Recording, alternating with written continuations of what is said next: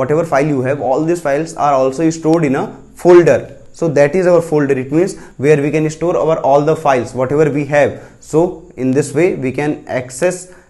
with uh, we can access our files with the help of folders so you are getting my point whatever work we done that work is stored in our files and whatever file it means suppose we have a many files so these all are the files are stored in our folders so there are cases when we need to keep uh, similar files at one place then we can make a folder and keep all